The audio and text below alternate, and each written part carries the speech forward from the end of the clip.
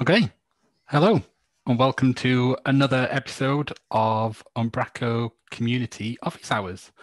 Uh, my name's Matt Brailsford, and I'll be your host for today's topic, which is going to be all about the future of the Umbraco back office. Uh, here to help answer your questions is a, a lovely bunch of HQ members, and I, I don't think I'll offend anybody by attempting anybody's last name. So I think I'll, I'll, I'll let you introduce yourselves uh, in person one by one. So Filip, do you want to start? Yes, I would like you to pronounce my last name though. It's good. Uh, my, yeah, I'm Filip Bech-Larsen, uh, and uh, I'm the, the program manager for CMS. So I kind of uh, have the overall uh, like strategic uh, responsibility for the open source project that is Umbraco CMS. Um, but I'm actually uh, my background is as a front end developer for many years.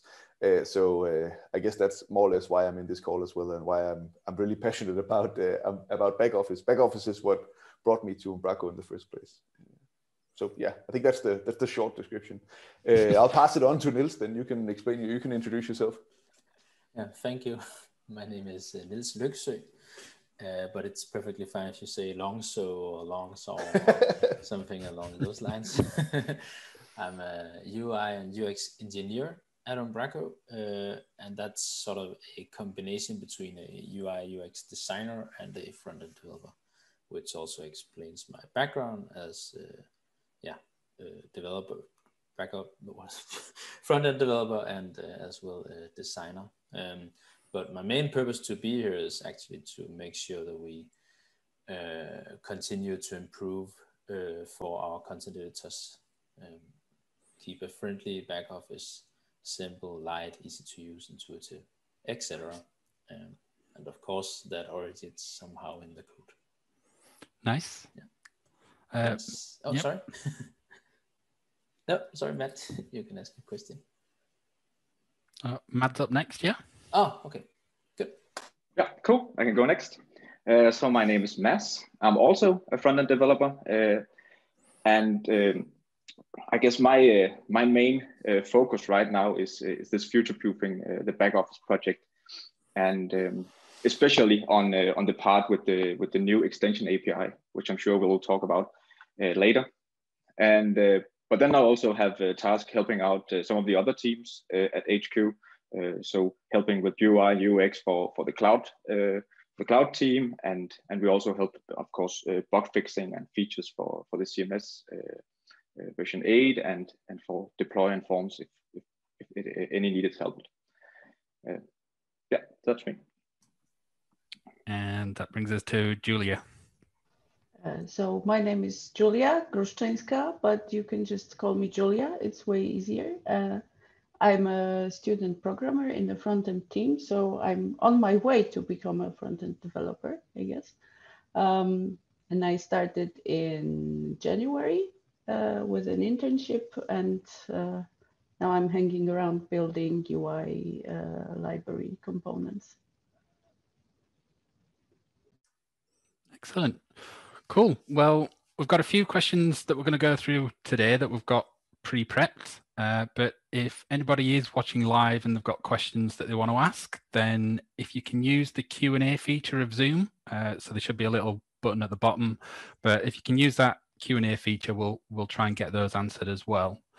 Uh, but I guess a good place to start with this session then, maybe for anybody that's not quite as familiar what all this front end kind of uh, rebuild is about is maybe just if we can get a bit of a background as to what got us to this point and then what we're what are we actually talking about when we're saying future uh, future proofing of of the back office. So maybe you want to take this one philip.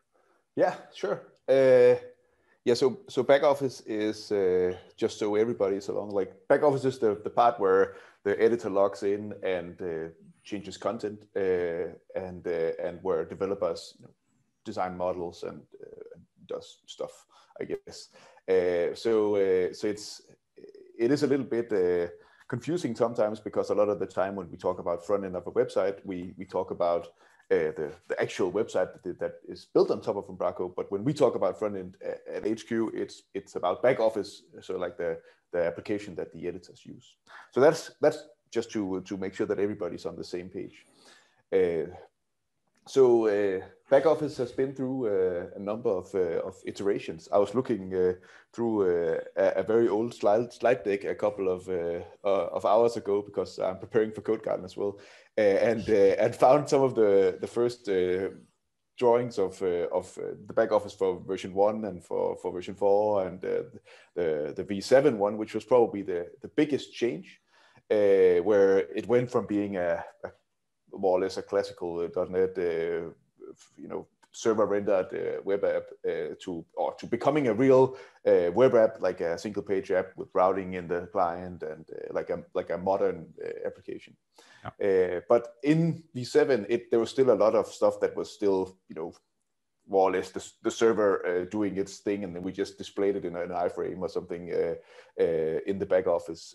so V8 was was the first the first real uh, single page app where everything was JavaScript. Uh, I guess was was uh, was the was the catchphrase uh, of V8. Uh, so and I mean it, that really paved the way for, for us to then do the .NET Core upgrade without breaking the back office. Uh, so that the actually decoupling the back office from the back end was really really important to us and continues to be. and um, yeah so now i got off on a tangent. So that's uh, so that's that's the back office and, and lots of stuff has happened. But now uh, uh, people have been asking us for the last couple of years uh, like when are we uh, you know upgrading angular or uh, when are we doing something about that? Or what, what's the next back office going to be like? And, and we've we've had a you know we've had a hard time figuring out like what do we do with this? What's the right approach to this? So in december we put out an RFC, uh, so a request for comments, where uh, to the community, where we kind of like described uh, what's the what's the plan for the next back office, and in in in a very short uh, uh, you know, amount of words, the, the whole idea is that we we kind of see that back office has three layers, and instead of trying to fix all at once, we'll try to fix one layer at a time. Uh, and the top layer that has some issues is around the UI, and as uh, as Julia and Niels all, all, already uh, you know spoiled for me, they we're building a UI library to take care of that. Uh, so that uh, you can have all the uh, the Umbraco look and feel if if you're in back office, but also if you're in a third party application, if you're like in the Umbraco Cloud Portal or anywhere else that's not in the back office, and you can rely on that also if you're doing packages and stuff you know you'll have to rely on copying all the right class names and, and stuff to to have make something that looks like Umbraco. So that's the first part. Then the second part, as uh, as Mads was uh, saying, is about defining the the extension API because we realized that the API that we have today is is uh, is pretty great, but it's pretty limited and that may, that means that everybody has just been uh, more or less taking a hack at uh, at what they can, what they could, and we've been encouraging. So we're not blaming anybody. Uh, so, uh, but we want to get the API to a better place uh, where it's not too top, too tightly coupled to any specific framework, and where it's easier to test, and uh, you know it supports modern coding today. So your better IDE help and stuff like we want to bring the back office API to a better place as well. And then there's the last last, last part, which is about actually you know re-implementing all of back office to that's where we get rid of Angular JS and we uh, pick a new framework or no framework or, or how we I'm sure we'll go into that discussion later. Uh, but uh, yeah, so that's the that's those are the three parts, and that's kind of where we're at now. We started the the UI library. We're maybe about halfway there uh, with the components that we've you know said this is going to be the 1.0 of the UI library. Uh, and then uh, Mads is working on the API, and I don't know, it probably can't put a percentage on how, how that's going, but uh, it's uh, it's going well. We we had lots of talks internally and with uh, partners and MVPs and community people and stuff. So yeah, lots of good stuff happening. That was the short. I'm sorry, I can't give a short answer to anything. how is there a short answer to the history of the Umbraco yeah, back office? That's true. well, I, th- I think it's pretty obvious from that anyway that the back office is is something pretty fundamental to to Umbraco itself, and so any any thought of kind of re redeveloping that or rebuilding that is is is no mean feat, and is anybody in the community is going to want to make sure that whatever we do, we try and do it the right way. Um, so it could be. Uh, could you tell us some of the things that HQ are doing then, uh, and some of the initiatives that are being put in place to ensure that we do get this kind of right and do it the right way? Sure. Anybody want to take a yeah. stab at it, or do you want me to? it's a quite broad question. So yeah. well, as I mean, I mentioned already that we're we're we did an RFC already. Uh, we did one for the entire uh, process, and then we want to do one for each of the the main parts. So we we had one out also for the UI library, and just to reiterate, like RFCs are requests for comments where we describe how we intend to do something, and then let community people and other people who are interested uh, chime in with their experience, with their comments, with what you know, seeing where there where there's uh, where there's something we're missing or, or something like that, and, and, and getting a chance to to you know have an influence on on how stuff is done before we actually start doing anything. Uh, so that's uh, that's the first way, and then you know we we're starting a community team uh, around this as well. Um, and I think Mads might be able to to speak to that a little more and about what they're doing. But the the, the point is that we we're doing we're taking people from the community that uh, has shown a, a particular interest uh, in in being part of this and drawing them in a little bit closer and using them to kind of bump ideas up against and uh, and see what makes sense and maybe have them try out uh, stuff while it's still in a prototype or something like that. Sorry, I'm, now I'm spoiling your, your story, Mads, but you want to say more yeah, about the community team? I think you did it. You did it pretty well. Where are we with but, the community team? Yeah, I can tell that. So we are we are very very close to be able to announce uh, the community team. We are only missing the final details. Uh, so hopefully during next week uh, or something like that, we will be able to to announce the uh, the full uh, community team. And as uh, as Filip said, it will be a team where we can share ideas and get feedback on the prototypes for for the future back office. and I'm really looking forward to to be able to do that. I think as somebody that's been around in the Umbraco community for a while um, and known how past back offices have probably been built, I think it's quite interesting that you we have uh, that we are seeing these teams develop. So I think this is probably the first time that there's really been a dedicated UI team at HQ. Is that right? Yeah. So I, I guess you're all part of that team, but maybe you want to expand on, on what that team kind of is and what their responsibilities are a little bit? Yeah, um, I, I, can do that. Uh, so it's the people uh, you see here, uh, me, Julia, and Niels, and then we have uh, we have Filip as our honored uh, member of the front of the front end team. Um, but uh, as I said in my introduction, um, right now the front end team's main focus is is on future proofing the back office. It's a it's a huge project, and and we spend a lot of time on that. Uh, but on the side, uh, we also uh, have a, a, a, current version of the CMS, uh, which might need uh, some new features and we know need bug fixes uh, once in a while. So we will help doing bug fixes, we will help do PR reviews from the community, which also do a lot of bug fixes for the CMS. Then we have a cloud portal, which also need features. And if they're all great teams in themselves, but sometimes they need a, a little bit help with the UI or UX or, or just the development of the front end. Uh, and then uh, they can bring in uh, some of us uh, from the front end team and, uh, and we can help out. So that's, that's how the front end team works. A little bit everywhere, but right now with the main focus on future proofing the back office. Yeah, maybe so to put it in perspective a little, six months ago, the front end team was just Niels uh, so and Niels still had to help cloud and still had to do all of that. So even if even uh, even that we are focusing a lot on the new future proofing, uh, we're still we still managed to actually have more uh, time to help with the cloud features uh, and to uh, and I think probably more or less the same amount of hours goes into V8 as there as six months ago because now it's just divided between a couple more people. Uh, so like it's like it's not like a V8 will, will just be still and nothing will happen to it. I think uh, in in the 8.14 release, that's uh, where there's the RC next week and it's scheduled for the beginning of June.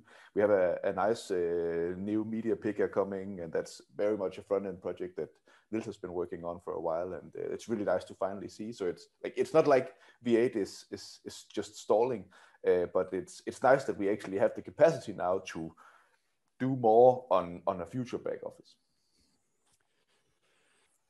Cool. Um, so one of the things that I'm quite interested in and excited about with the new UI is this idea of um, Umbraco as a framework. So you, you've kind of touched on that a little bit in the RFC, um, where we're looking at componentizing things and having a components library. So can you tell us uh, what we can expect from the from the components library, and also what other considerations are being made around the idea of Umbraco as a framework itself? So uh, I guess what you can expect is at the end you can expect a set of uh, set of components, reactive components that will not only be used to to build the future back office, but can also be used by developers and uh, package developers, and that will uh, that will ensure that all of it looks like Umbraco and is consistent uh, with each other, and that uh, uh, package developers or anyone who works with Umbraco won't have to care about styling them and uh, the whole presentation logic. The only thing you will have to care about is whatever is. Sorry, I got lost. But whatever is uh, whatever you need to do, but you will you won't have to care about updating the properties. They will just update themselves. Yeah, also for accessibility, I think it's really nice yeah. that all the work that uh, the community team and that people at HQ are putting into accessibility no longer only applies to the back office, but also applies to packages and applies to the portal and to everywhere else the UI library is used. And maybe one one great thing that maybe mostly touches uh, the current experience is that by us separating the UI into separate project, we ensure that there will and cannot exist business logic in it. So we'll be much sharper on the responsibility of the parts for the UI versus the products, um, which will make it much easier to develop UI uh, in Umbraco regime. Cool. Um, so going back to the RFC and the components library then, uh, you've made the choice for these to be built as web components. So can you tell us what led to the choice uh, over basing them on some kind of framework? And do you have any examples of how these will work in the actual Umbraco uh, back office UI?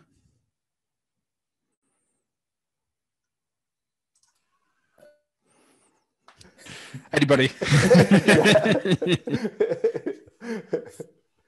uh, yeah, um, I mean, I think web components is a is a really nice uh, fit uh, for a UI library because it uh, it will work with any framework uh, because it is basically just components like a div element or a span element or a button element or anything that you know already from the DOM. Uh, from a framework perspective, all these all the UI components will work the same.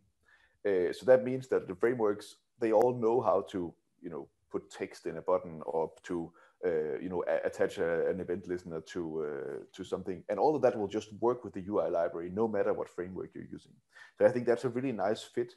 Uh, and then i think it, it also uh, makes uh, the the components themselves uh, very lightweight so that if you want to just use the Umbraco button, you don't have to pay for a, a 200 kilobyte framework to to download just to get the button.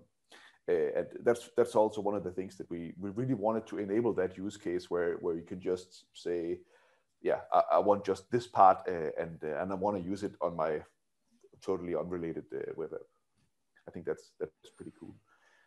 Uh, and I mean, then uh, I think what we've also seen with the with the current thing with Angular, Angular and or Angular JS is that like time runs out of uh, for, for for frameworks.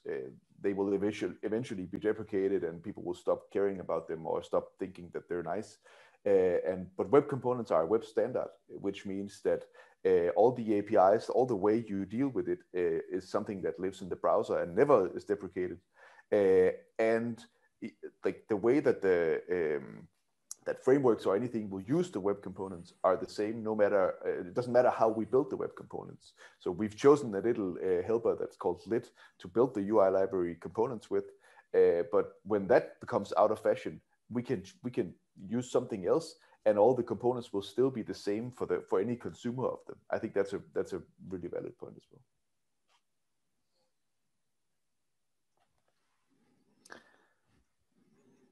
yeah, and I mean, as for how you use them, uh, Niels, you you showed off something uh, once where you tried to, ta- to take some of the new components and put them in the existing back office. Could you talk maybe just yeah. a, a, little bit about that? I don't know if you have it yeah, to, to, show or if you just want to talk uh, about it. I don't have it ready for show, sorry, but but I can talk a little bit about it and try to, dis- describe how it is. So since it's uh, web components, basically just is is HTML components, you just write you know, like putting in a button, you write the, the what's it called, square, no, arrow brackets, whatever. Angle brackets. Angle brackets, thank you.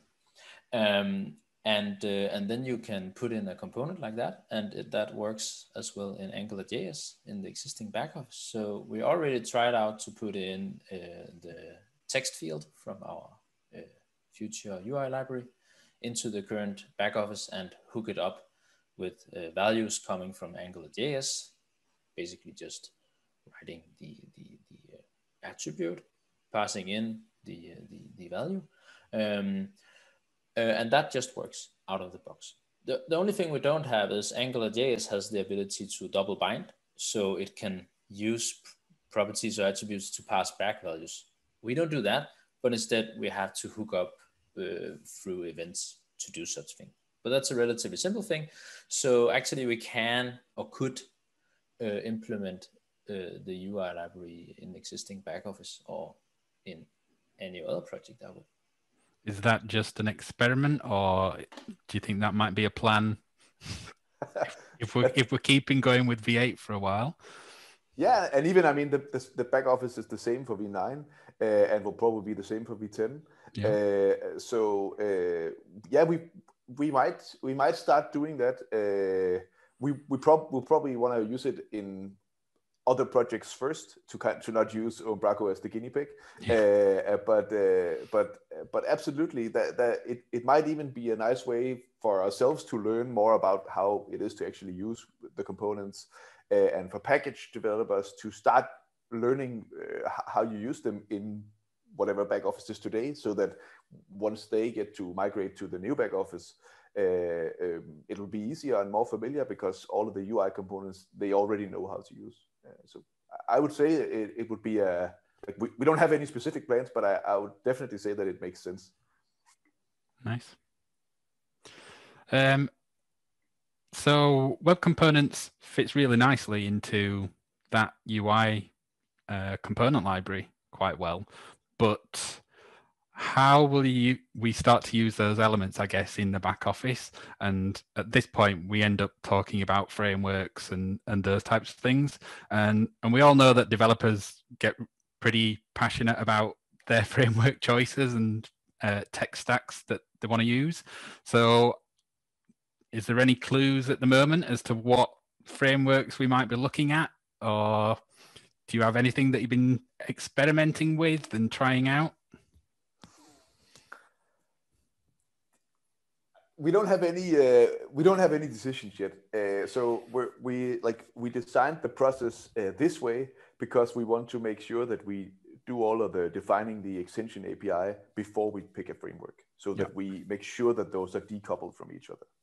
Um, but I mean, we see in the community and at HQ uh, that uh, there's a lot of love for, for different frameworks. Uh, a lot of people like Vue, a lot of people like React, uh, and I mean, of course, we'll look into uh, to all of those and figure out uh, whether those are the, the, the best fit. Uh, yeah, so yeah, we don't really have anything to, to say about that yet. But the, the, the main thing to note that in this new way of doing it, whatever framework back office uses doesn't really matter uh, for you as a package developer and of, uh, not at all if you're an editor but uh, if, if you're a developer or a package developer it doesn't really matter to you uh, what framework back office uses because uh, you you use the api that doesn't depend on any framework and if you want to build a property editor you should be free to use vue or react or whatever you want to for that uh, and you like we shouldn't limit you to only use one and today i mean today you can use uh, you can do it through AngularJS, but it's a little convoluted. But there are examples of packages uh, more or less building their own stuff with Vue, or I think WooCommerce does it with Vue, or yep. all of it more or less as one app, uh, and that's that's fine. Uh, but today it's it's it's a little too convoluted to make that happen uh, because it's the API is pretty tied to AngularJS, and you need AngularJS services to do open something and, and all of that stuff. And we want to make sure that you don't have that tight coupling. Uh, so the framework choice of back office should really be for contributors uh, to, to the back office and for people at HQ. Okay. I think when, when we comes a little longer in the uh, in the uh, API uh, project, and we start looking at how you how you will be able to build uh, property editors and and we will see the API for that. We will also experiment with different examples so we can see uh, how would a property editor look if we build it with Vue or with React or with Angular. Um, so we have something to compare and also to show that you can actually you can use the new API or will be able to use the new API with any framework. Uh, and and I think that would be cool to to actually experiment with that. Yeah. Yeah, we've been so to like we've been toying a little bit. So none of what I'm going to say now is something that's a decision or uh, like one of the prototypes that we're looking at is where a property editor is also just a web component uh, because anything any framework can build a web component uh, and since like whatever framework we choose can interact with that web component so that's a nice you know frameworkless api to to work with uh, and how you set a value of it and, and read it back. And that's, that's kind of easy. And that's, we already do that with a native input field or something like that. So it might be a good case. Again, this is not something we've decided. It's just something we're playing a lot, playing, playing with. Uh, but with that, uh, I mean, I've built a property editor that's then, you know, made with React and works with whatever framework we we use uh, to to to do the prototype, and that's uh, that that works, and that's really nice. I assume you'll be doing RFC process and things anyway before any commitment to any particular framework in the back office. Because I guess what whilst sorry, whilst people are probably going to be able to use their own, I, I, guess a lot of developers would want to use whatever Umbraco is natively written in. Yeah. So we we're using uh, this uh, framework called Lit for the UI library, and uh, we kind of like how that feels. And uh, if the API turns out to be web components for, for like property editors and dashboards and stuff, if that's the way we go, uh, I could see us uh, probably, you know, uh, advising people to use something like that. Uh, and uh, I mean, we probably have some kind of API work to find out as well, like uh, how do we can we share a framework or something like that? So everybody every framework doesn't come with its own react so or every property editor doesn't come with its own react but maybe you can share one uh, like we don't know yet but that's a that's a concern with that approach. Yeah it's one i've thought of as well in terms of if if everybody implements their own or uses their own framework in their own implementations it's it's trying to avoid that blur isn't it? Yeah Okay. I mean, if, if, to just to touch on the process, as you said, uh, with RFCs for the next parts. Uh, so, whereas for the UI library, we did an RFC first, and then we built the UI library. Uh, for the API part, it's the other way around because it's an exploration project. So Mads uh, is talking to uh, lots of people in the community and uh, gold partners and MVPs and people everywhere looking at different use cases. And eventually, with between him and the community team, he will come up with a proposal of, uh, and, and, the rest of the team here, of course, uh, come up with a proposal for how do we think the API should look like, and that will then be come out as an RFC, so everybody can come in and we can have all of that out in the open. And then when we get to actually the third part of re-implementing back office. We're probably going to do some kind of RFC on that as well. Uh, but since, as we're saying, that that part is mostly, you know, relevant for people that would actually be contributing to back office, either working at HQ or, or uh, uh, you know, as part of the open source project. Uh, it, I don't think that will be too, you know, busy of an RFC because uh, that that's pro- that's today that's not too many people. Cool. Uh, going beyond just functionality, then, uh, and if we think from a, a design perspective, when we're looking at the redoing the new UI, do we think we'll be looking at any design changes? Are we looking for potentially a direct port of what the current UI is? And will there be any changes to the extension points that we, we think will be available? I think you said earlier that AngularJS is pretty easy to abuse and hook into a lot of things. So I think it'll be quite tricky getting everything. But do you have a plan for that? Um, and yeah. Okay. There's two questions there. Maybe Niels, you can, Niels, you can answer the UI part and then Mads yeah. can answer the API part. Okay, yeah. Yeah, well, well, I also touched maybe a little bit on extension points, but but will there be a change of UI style to answer that question? Yes and no. Basically, no. We'll continue with the simple and friendly design we know from today. It's already uh, evolved and and it was called corrected quite a bit in V8 um, to be aligned. But what will happen with the UI components is now that we start putting them into system and get the overview of them, we can see that some of them doesn't use the right spacing or the right colors in the right way. But now that we're componentizing everything, those things will be corrected. So if you have a sharp eye, you will see a difference, uh, but most users probably won't notice a difference. Um, so will there be a change in extension points available? That's maybe a double question because that's part for Mads. But in terms of UI, uh, uh, yes, uh, because the overall um, purpose and responsibility of the UI components will be redefined. Today, the UI components both serve a visual purpose, but often also a business logic purpose. And we'll get that away. The business logic will be out. Now we're just serving a interaction and visual purpose. Um, so all the business logic is out. Implementers have to decide what a component does or how it, uh, yeah, uh, yeah, what it does basically. Um, but we also want to make sure that we don't have um, uh, complex components trying to solve multiple purposes. A component has to solve one purpose, um, and that responsibility is, is uh, sort of being redefined to, to, so you can have a component and make sure it's for that purpose. Um, so what am I trying to say with that? I'm trying to say that, that we'll make components that, that serves a scoped purpose, and then there will be extension points for a component. So an example could be a, uh, a media item card that we know from the existing backoffice today. We have one in the UI, uh, in the media library. We have one in, in the media picker, for example. That's a card displaying a media item from the library. Um, but the current one we have today also holds a remove button and an edit button and etc., etc., etc. Features that are not really related to the purpose of the component, but related to the context where it's being used.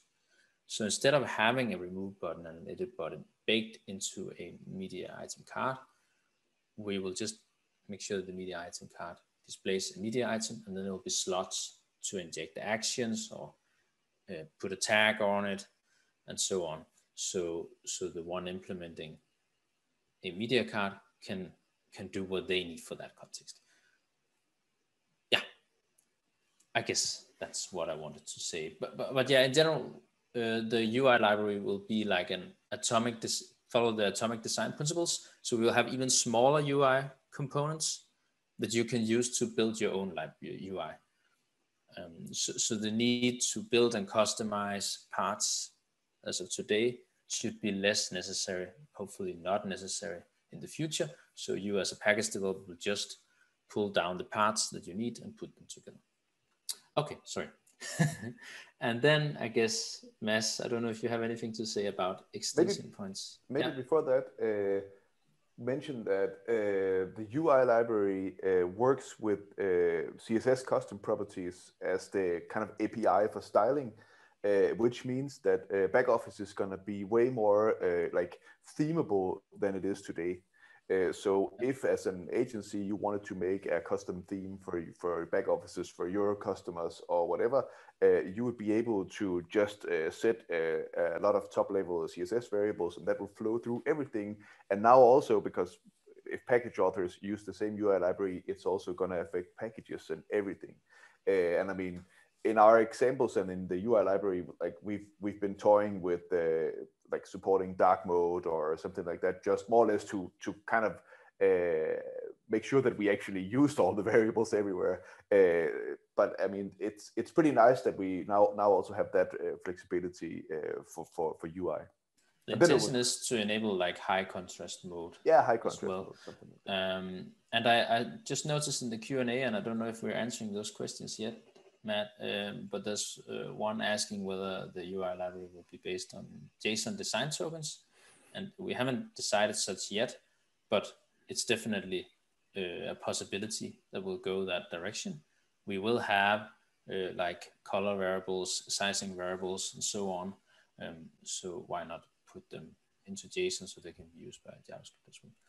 Um, yeah, we talked a lot about what's the like what's the business of the UI library and what's the business of the using the UI library in the back office. And like JSON design tokens might be somewhere in between, and we need to figure out do we ship it as part of one or part of the other, or, or how does that work? But you know, having all of that available uh, through JavaScript, as Neil says, is makes sense. I guess answering uh, linked to that question before we go to Mads about the API extension points is the design perspective as well. So there's a QA question in there. So although we're going to be basing much of the new UI off of what's there currently, um, will there be dedicated design people, so, uh, um, team members at HQ that if we are creating new components, do we have people from a design perspective to make sure they're on, on brand, look nice, accessible, all those types of things. I, I think that's what Niels is. Races on my shoulders. um, of course, it's subjective if you think it uh, looks uh, beautiful today, but uh, I've tried to do my best within the limits of V8. But of course, a new UI library will enable us to improve even further, um, as we are quite limited today. Uh, yeah, I guess we'll get onto that later. So, Mads, do you want to talk about what are the potential extension points from an API perspective? Yeah. Um, so you can say that uh, the extension API is, is uh, uh, in the JavaScript world a little bit uh, interesting. Um, so we kind of we kind of have two. Uh, there's the official uh, APIs that or extension points that you find on our and uh, and we uh, of course want to cover all of that. So you can you can do the same things uh, you can make property editors and you can make dashboards and all of that um, should still be possible uh, with the new api and then we have the uh, uh, the more what do we call it back office api the javascript api and this is the this is the part where we need to figure out how much should be available in in the new version. And and then we have all the unofficial API, which you can do with the with Angular JS, uh, which are the interceptors and the decorators and and all of that. And that's why part of this exploration uh, phase we have uh, uh we have talked to uh, to different developers and agencies um, and made them show us some of their hacks. And we also made a discussion board. it's a, a, little bit quiet in there right now, so I hope that someone will be able to, to share some of their hacks in there at some point. But that will uh, actually allow us to see what is needed out in the, call it the real world, uh, some of the examples where we are missing some really good uh, extension APIs. Um, and where you do those uh, those hacks where you think uh, this is really cool, but I'm not really sure if this will break in, with an update. And we want to cover uh, the ones that we think uh, make most sense. Um, we can't promise anything, but uh, but but if something is, is obvious that this should of course be extendable, then then we will look into it. Yeah, I mean, we know that the reason why a lot of developers love back office and love Umbraco is because like it's very flexible and you can bend it to pretty much do anything you'd like. And uh, even if we are gonna make it a little more limited, and we probably will, uh, it like we still want to have it to be very very flexible. Uh, but it is it, it is gonna be. Uh, I, I mean, it's not it's not it's going to be less uh, cowboy uh, than it is today uh, so we can have uh, you know safe upgrades uh, and uh, you don't have to worry about it when you click the upgrade button in cloud or, or something like that. You don't have to worry about your your packages breaking or, or, or something like that. But um, yeah so that's that i mean that's that's really what Mads is working on as well. Is like coming up with how would that work? How how do we allow people to put anything anywhere or change anything to anything else uh, without making it, you know, just a big soup of uh, spaghetti, right? Yeah, I know I've uh, abused those APIs in the past. and made beautiful things with them. And I mean, yeah. that's, that's, really the point. Like people are not doing it to be evil, and, and we we haven't told them not to. Uh, so it's like I mean, yeah, we need to make sure that you're you're still able to to do uh, beautiful stuff. Uh, it should even be easier. I think it's the difference, I guess, between just uh, allowing anything and having no control over that versus putting some standards in place. And I think one of the things in V7 V8 is uh, a phrase that gets used, which is non-breaking breaking changes, which is usually around the CSS uh, side of things, which I guess because we've not had that ability to like have a, an overall view of everything that is the Umbraco UI, it's been very difficult to keep control of that. And then any CSS changes will inv- invariably potentially break other packages that might be using those same CSS classes. Um, and because of that difficulty at, HQ, it's always been taken that style changes are not breaking changes. So what are we looking at now? Will the components library and taking control of all this thing, uh, these things, these extension points, will those help keep those to a minimum? Hopefully, yes.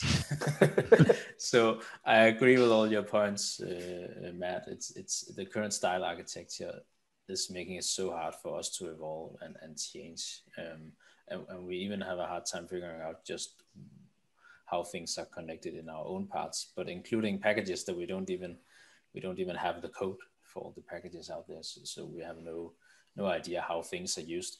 But generally, the the the, the hopefully having the UI library with components serving a certain purpose will help out as we know sort of what they are here to use to to to achieve um, currently, we have classes that does many general things and can be used in East and in West and everywhere. Um, so, but uh, the, the components and the choice of using web components also uh, enables us to use Shadow DOM for our components, and we're doing so with the UI library.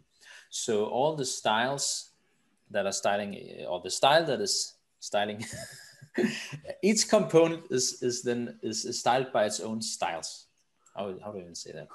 The they are code, the code that styles a component is owned by the component and is not floating out or styling anything else. It's encapsulated or scoped, as Julia just uh, just mentioned. So, so things won't affect each other. Um, and hopefully, by using these atomic design principles, um, we can um, we will have these very small UI components and through those the combination of those you'll be able to make uh, the ui that fits um, your needs um, yeah so there won't be yeah. a button class that you put on a button to make it look like a button uh, there's just going to be a ui button yeah. uh, element that you put in whenever you want a button and then we take care of styling that and making sure it works and like if there's a change to it we make sure to update that so you don't have to. So you like with the new when the new back office eventually gets here, you you there are no classes to use uh, because everything's encapsulated in elements, and you can only use the elements. And, another thing is because we are thinking more purpose than look in terms of our code and naming, then, for example, the button, you know, today it can be green or red depending on the, the symbolic uh, purpose of it. Um, that's not named green or red. That's named. Uh, so, so what we do currently is that the UI button takes a look that can be either positive or a warning or a danger. Um, so it's not specific to the color, meaning that we could actually evolve the color or even the look of a button to serve that purpose. Um, and that general approach uh, we're trying to apply on all components. Cool. I think a very relevant question has just been asked in the QA as well, which stems back to how the UI might have been overly abused before, which is probably lack of documentation.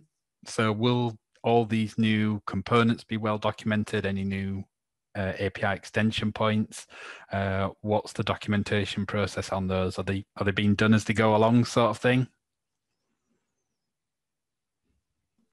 So for the UI library, uh, we're ship we're building it in a, a, like a documentation platform or playground or what you want to call it. Uh, that's called Storybook, uh, which like works as like you could almost most say it works like a like a style guide, but uh, I'm not gonna use that word because that has different meaning to different people. Uh, but the point is that in there you get to play like there's actually like a like an like a interactive playground where you can play along with like what what do the up what options do I have and how does the button change its look if I give it another another look or or, or yeah. So you can you can play along with it and uh, and the nice thing is that all of that is automatically generated from the source code and comments within the source code. So there will be no more uh, you know decoupling between the documentation uh, the the yeah, all, all, the information about a component and the actual implementation. There's there, there's no decoupling there because we don't think that's like we, we want that to be from the same thing.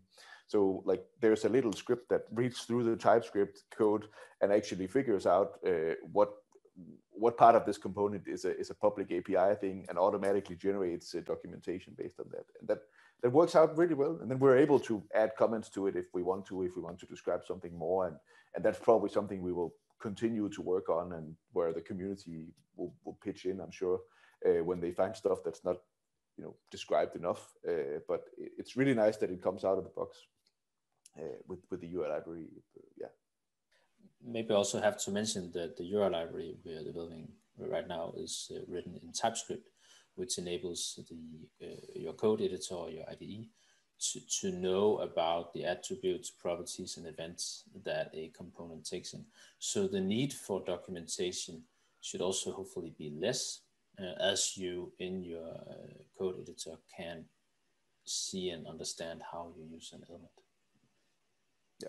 So when you in your template write your UI button, and you start write, writing an attribute and you start writing L, then it's automatically going to suggest to you uh, look, even though that's not an HTML attribute that's standardized anywhere. It's something that's from our, uh, that's from the UI library. And when you press that, it's going to auto suggest all the possible uh, the looks that, that, that we ship with. Uh, so you can choose whether you want the positive or the warning or, or, or, whatever you want. So all of that comes like built in. And that's, that's the tooling that we want to enable uh, as well. And I mean, there's been a community project to add something like that uh, to the existing back office in, or like to the Angular JS stuff today. And that is great. It makes it a lot better. But today that's decoupled, which means that when we, as we evolve back office, uh, that has to be manually kept up to date. And that's just a process that will eventually, like it doesn't scale very well. So we want to make sure that that's tied together uh, from now on so that that tooling will always be up to date with the source.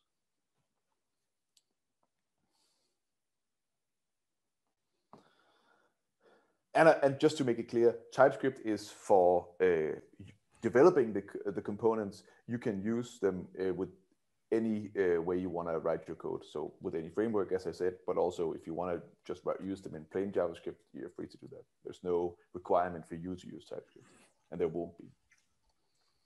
I guess documentation leads into one of the other questions we've got as well around what kind of support will there be in the future, do we think, for potentially package developers or agencies? Any any change in the UI is obviously going to be quite a big fundamental thing. So anybody that's built anything on top of the Umbraco back office is going to have quite a big job in terms of upgrading that. So, do we know what might be available for support? I'm guessing yeah. things like the videos that Warren's been doing, maybe. Yeah. And yeah. So, so yeah, I'm sure. Uh, as for like the, the, the formal stuff from Umbraco HQ, uh, the there's a training course about uh, extending the back office, which will of course be updated, and and people who buy it within some kind of period will have all you know free upgrade bridge courses or whatever.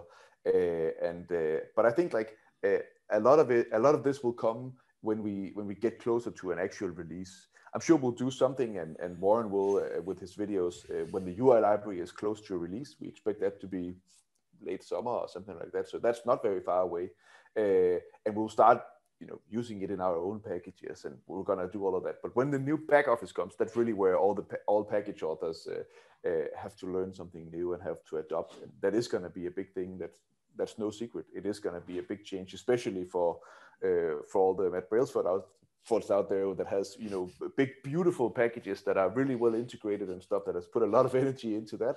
Uh, i mean that is that is going to be a lot of work that that, that you have to redo. Uh, and uh, we yeah that we, we as, as we're doing with the .NET Core migration right now, we will of course uh, reach out and help as much as we can and document and do webinars and do uh, all of the community work that we're doing right now for the .NET Core migration. I'm sure we'll do something similar. Uh, but since this is not going to happen for the next 12, 18, 24 months at least, uh, it's, I mean, yeah, it's premature to, to talk about uh, like specifics yet, I would say. But just know that we will be there to hold your hand. Good. You kind of hinted a little bit there in terms of date wise obviously people are, are instantly going to be asking when. So, do we have an idea of potential?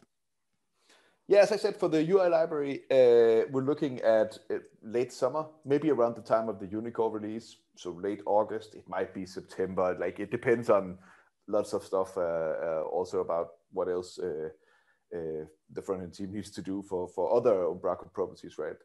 but something like that. Q3 is probably a good guess for for for UI library release. Uh, as for new back office, it's very hard to say. Uh, I mean, I hope Kim uh, hears this, but of course we want to add more people to the team. Uh, but we also need a budget for that, I guess. Uh, but uh, yeah, we don't have any you know particular plan for that. I would say my best guess right now, if you ask me, and don't you know pin me to this, but uh, maybe Umbraco 11, which is scheduled for uh, September 22, maybe that, or for 12, which will which will be March 23. Uh, those would be my best guesses as of now. Uh, but uh, I mean, it's yeah, it, it's a it's an impossible task to to give anything uh, very precise at this time. But hopefully, in three four months when we have a plan of where back office will go and what framework we will use and all of that stuff, I think we'll be able to do a, a better plan and we'll be transparent about it as soon as we can. Uh, and I'm, that's what I'm doing now. I'm being as transparent as I can because we don't know anything more. Uh, but at that time, I hope that we're able to say by Umbraco 11 or something like that, we'll, we'll have it there. Will you be trying to align that potentially with the long-term support um, numbering or versions? Yeah, so we're most likely gonna uh, we'll make sure that it's not an LTS, uh, so that if you choose the LTS, you get something that is uh, solid and that that is well tested and is it's not new. Uh, so uh, 10 is going to be the first LTS version, and I'm I'm don't quote me on this, but I'm pretty confident that we'll ship before 14. but I mean, things have things have slipped before. but uh, yeah, I, I, hope we can ship before then. Between eleven and fourteen. Yeah. okay. Well, we're running short on time, so we can try and get through the last ones rapid fire, I guess. Um, when we get to the new UI, do we think we've got any ideas on how that will get rolled out? Will we be able, will people be able to choose between the UIs, or will it be a hard? This is the new UI go with that? any of you want to answer? Because my answer is always long. I'll try to make it short then. Uh, uh, but maybe I'm wrong, Filip. I don't know. But my impression is that we, there will be a new back office at one point that will be with the new UI, and packages would have to to to be upgraded to fill. Yeah, we've talked about this yeah. quite a bit because it's like that would be really really awesome if we could just have both back offices running. And I mean, while we're developing it, we still have to use the old back office as well. So we're probably going to keep around, uh, you know, any API changes we make to the back or like back back end endpoint uh, changes that we make. We're probably going to keep them around, keep the old ones around as well. So from a theoretical standpoint, you should be able to run both on the same back, back end. But then when we started thinking some more about how that would be in, in practice, that would mean that most packages should have both as well, because what, what else do you do if you go into a, a, a node and there's one property editor that's only built with a package that from the new back office and one property editor requires the package from the old back office and then not, you can't save it from any of those because they're both required and like there's there's a lot there's lots of really really deep uh, holes you can go into here. So we, we don't know yet. It would be super nice if we could support something like that uh, but I, would probably go with Niels and say we're probably not gonna there's it's probably not gonna be possible but it is something that we're looking into because it would be super cool okay uh, will there be so if you have ideas if anybody have ideas on how we could do that please reach out that would be awesome well then that's a good one to lead into the next one how how do we see uh, people being able to contribute both to the to the process and to the to the code, I guess. Yeah. So process-wise, uh, as as I've said, uh, we we have the RFCs and we will continue to have those, and that's a good place to chime in. Uh, and then, uh, I mean, when we get started on the back office, uh, that's part of the regular. Uh, it's going to be a branch on the regular CMS uh, repository that's open source, and we will encourage people to start. Uh, we're probably going to make some kind of announcement once we once we're kind of on track on where we want to go uh, to to call for for help. Uh, and the UI library, I think it's you made it public now, Niels, or where yes. are we at? Yes, the the repository is open, public. Everyone can go view it, clone it, create issues, even create a PR. Uh, so so if you if you like please go ahead and do it. It's called umbraco.ui and it's in the Umbraco uh, GitHub. Uh, and yeah, it would be very nice if you try that and report issues. And you're also very welcome to do PRs.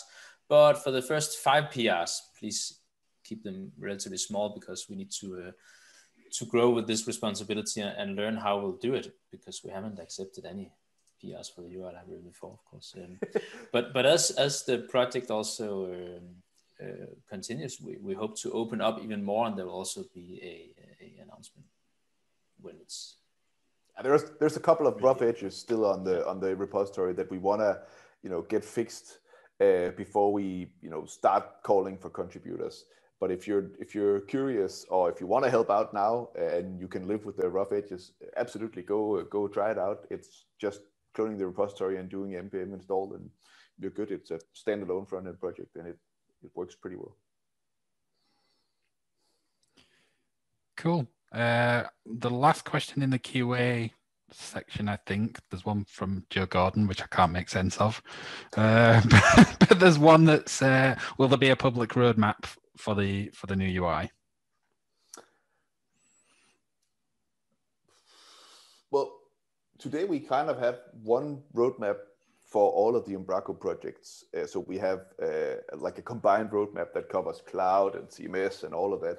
And I think we will continue with that. But we will see uh, UI um, stuff in there. I think there's one right now that's called the UI library uh, that explains what we're working on and, and all of that stuff. And eventually that will go into done or, or uh, yeah.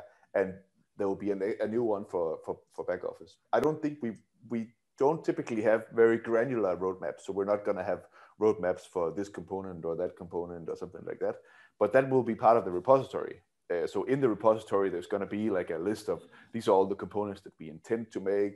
Uh, so also as, as a contributor, you could pick one and say, I'm working on this one. So we don't duplicate all the work and you don't have to come up with what component to work on. So there will be a list of all the components that we intend to do. Excellent. Well, personally, I think the new UI is going to be a huge opportunity for Umbraco to to kind of reach out to a, a whole new community, and so I think it's in in the grand scheme of things a real big positive. So as the last question, then maybe you can all say what are you most excited about and looking forward to with the new UI updates. I won't go first. I, I have already talked too much. So Julia, you can go first.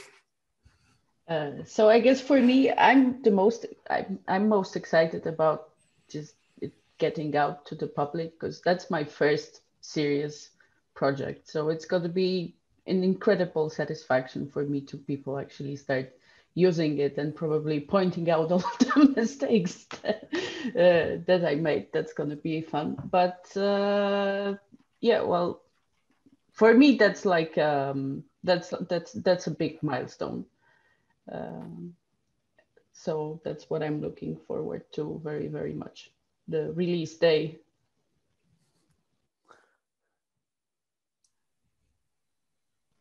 Niels? Yeah, yeah. Oh, nice. no. no, well, what am I most excited about? I don't know. It's I think for me it's about being able to prototype much faster.